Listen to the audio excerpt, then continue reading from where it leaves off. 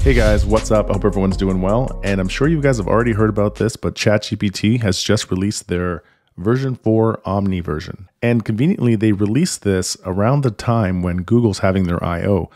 So if you weren't watching in the Google keynote, they announced Gemini 1.5 Pro and they also announced something called Astra, which looks very, very promising. And conveniently, it seems to be in direct competition with ChatGPT. So we're not going to focus on all the nuances and features of both AI platforms, but we're going to take a look at is the way ChatGPT has streamlined the new desktop app for macOS. So here it is over here on the right, and it's designed to work seamlessly with all of the Mac applications and practically anything you're doing on your computer. You can now have full out voice conversations using voice mode. And this is kind of really cool, whether you want to brainstorm about something, you have a new idea. I'm going to show you a quick example of just what it can do. I'm using code right now, and I just wanted to make sure that maybe I don't understand this block of code over here on the left, and I want it to kind of like just give me a quick overview of what it's actually doing. Let's start with one of the built-in keyboard shortcuts, which is Option Space.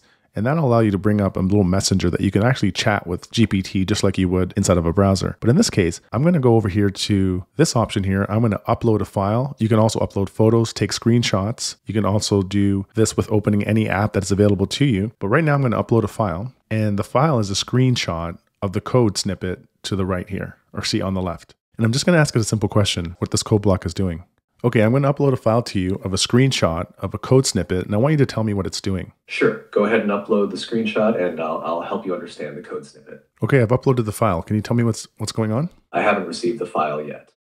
If it doesn't work, you can describe the code snippet, and I'll help you out. Okay, what if I copy the code snippet and highlight it?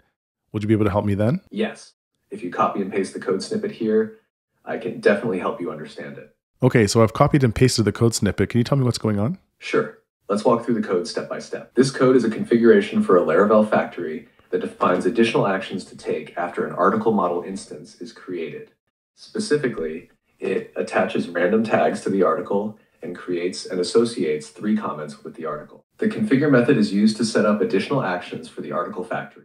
It attaches a random number of tags between 1 and 3 to each created article. It also creates three comments for each article and associates them with the article.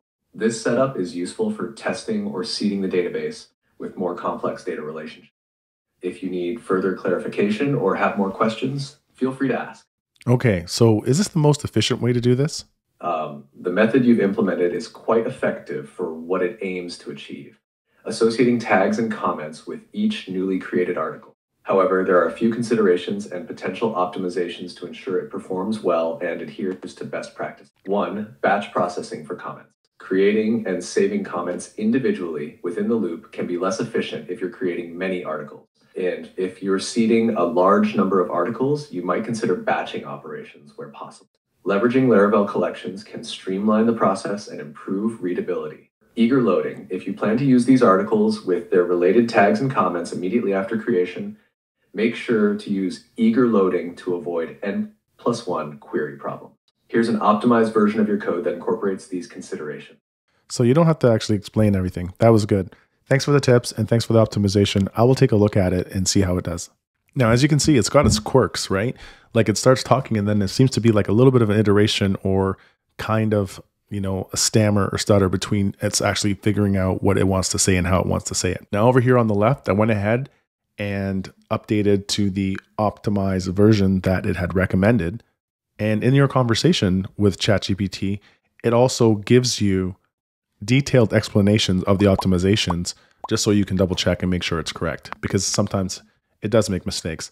But overall, now this is fairly new and there was some quirks when we had to upload our file or screenshot of the code snippet for ChatGPT to give us a analysis of what is going on in the code. Now that could have been my error or the way it was uploaded or the size of the file, I'm not sure. But it was still able to decipher and tell me what this code was doing through alternative methods. Now I'm using this for code, but there are tons of other applications. I've even asked it on the mobile device just to summarize anything that I had missed about the features that are available for this version of ChatGPT. Hey, what's going on? Hey, not much, just here and ready to help. How about you? Yeah, I just wanted you to add anything that I missed on ChatGPT for the Omni version, specifically around the Mac OS app. Got it. Emphasize how it integrates smoothly with Mac OS, offering a native experience. 2. System wide access. Mention that users can access ChatGPT from any application using a global shortcut, like the ability to generate code, draft emails, or summarize documents. Reassure users about the privacy and security measures in place to protect their data. These points should provide a comprehensive overview of the Omni version's features on macOS. Does this help? Yeah, I think they got it. Um, thanks for wrapping that up. You're welcome. Uh, sounds like it's going to be a great video. Anything else on your mind? No, that's good. Take care and good luck with your video. I'm looking forward to see what the future holds for ChatGPT and OpenAI and the competition as Google's ramping up to directly compete with this new model. Thanks for watching, guys. Let me know your thoughts and comments. If you're not able to download the app just yet, I think they're doing a rollout gradually to everyone, so just be patient. And you should be able to jump in and see what other experiences and features this new version of ChatGPT has to offer.